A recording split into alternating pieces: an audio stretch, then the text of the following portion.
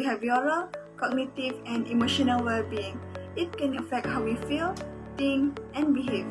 It also helps to determine how we handle our stress and interact with others in our daily life. According to WHO, mental health is a state of well-being in which an individual realizes their own abilities, can cope with the normal stresses of life, can work productively, and is able to make a contribution to their community. In Malaysia, 7% of teenagers are found to have thought of committing suicide, and half of them have translated the thought into actions.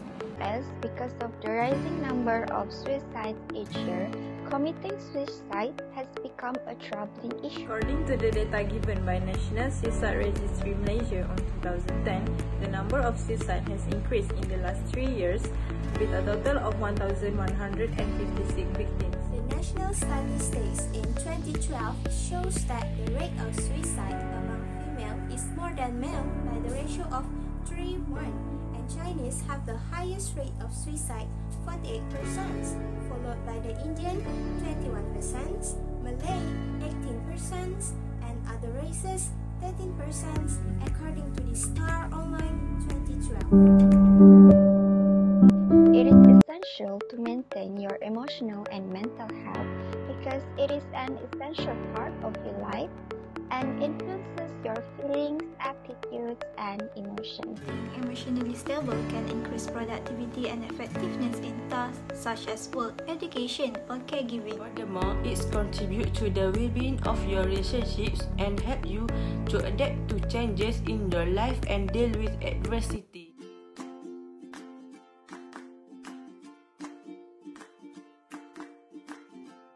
Hey everyone. As your doctor, I wanna ask you. What will you do if you notice your friend or your family member is experiencing mental health problems? Here are some tips. If you notice your friend or your family member is experiencing mental health problems, the most effective way to help them is to spend time with them and let them know that there is someone who cares about them.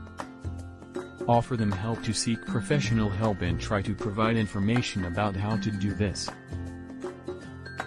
You also can keep them active by accompanying them to do beneficial activities to reduce their stress or anxiety. But, what if you are the one experiencing mental health problems? If you are the one that is experiencing mental health problems, find someone to talk to and express your feelings. After that, try to relax and enjoy your hobby with your beloved one. Then, the most important thing to do is to accept who you are. Try to accept all your shortcomings and strive to change yourself into a better person. Factors that contributing to your mental disturbances. For instance, the following factors can contribute to a period of poor mental health. First is childhood abuse, trauma, or neglect. Second is social isolation or loneliness. Third, experiencing discrimination and stigma. Fourth, social disadvantage, poverty, or debt.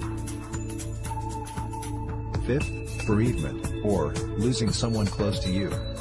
The last one is severe or long-term stress.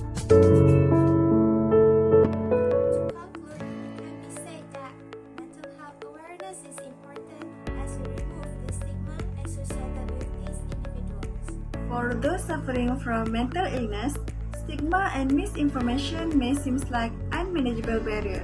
Stigma can fade away if we are aware of their limitations and strengths. One community, we must show an individual respect and acceptance to overcome a huge obstacle to effectively dealing with their condition. For someone who is struggling with your mental health, seeing people view you as a person rather than your illness will make all the difference. It is important to raise awareness, encourage those around you who are struggling with a mental health crisis, and get treatment if you believe you are suffering from some kind of mental disorder or mental health issue.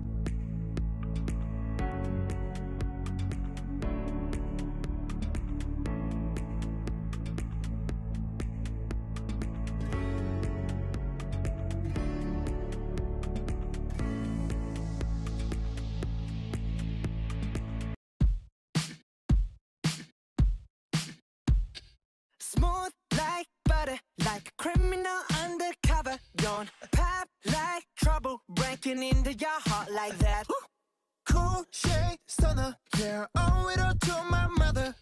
Hot like summer, yeah, I'm making you sweat like